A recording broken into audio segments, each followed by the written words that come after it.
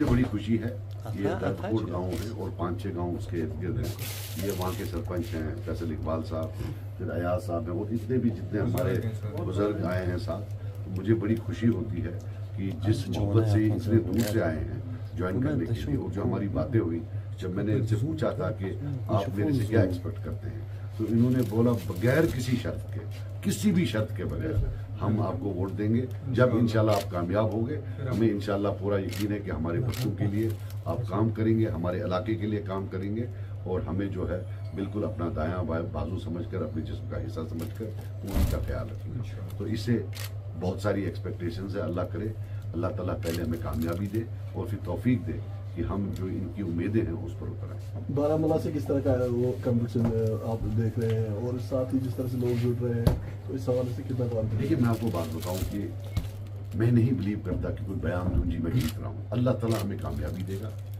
मैं निदामत से अपना सर नीचे करके लोगों के पास जाऊँगा।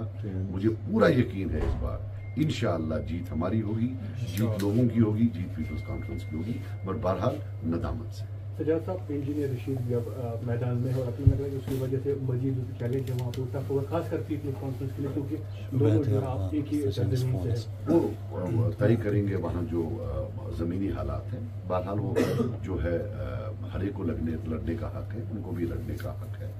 और वो एंड पर लोग तय करते हैं क्योंकि वोट लोगों ने डालने होते हैं आपके तजिया ने नहीं। अच्छा सजाद साहब ये भी जानना चाहेंगे डिलिमिटेशन के बाद बड़गाम और बीरवा बारामूला के तो परफॉर्मेंस। हालाँकि आपकी सरगर्मी जुबैर- जुबैर, सर नीचे। में है। आपसे वहाँ पे भी आपकी सरगर्मी होगी और एक बूस्ट मिल सकता है बड़गाम से।